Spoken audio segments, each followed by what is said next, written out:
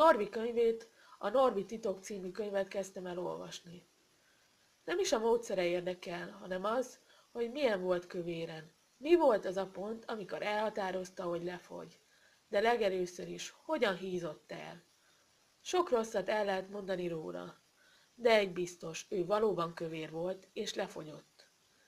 Ő az egyik okát az elhízásának a kólát említette meg, amit ha lehetősége volt rá, mértéktelenül fogyasztott.